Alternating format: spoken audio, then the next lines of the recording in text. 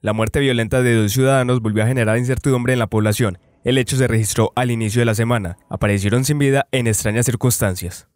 Por disputa de, plazas de vicio, eh, eran personas que eh, consumían y vendían este, estas sustancias alucinógenas y en una de sus disputas, eh, lastimosamente otros ciudadanos desalmados acaban con la vida de estos dos, de estos dos señores. Fueron ultimados con disparos en su cuerpo. La seccional de investigación judicial y el personal de la Dirección de Inteligencia Policial en compañía del comandante de la subregión del suroeste, eh, poder dar con la captura de, de estos sujetos y responsables de este hecho.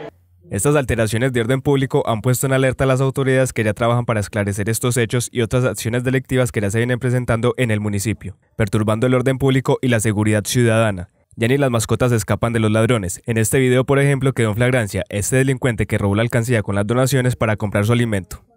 Dimos con la captura de un sujeto, una orden judicial por hurto, eh, se le realizó la captura y se dejó a disposición de la Fiscalía General de la Nación. Una persona en, el sector del Pedrero, mientras eh, mantenía una fuerte discusión y una riña con otro sujeto, lo, hiere, fuertemente en el sector del cuello.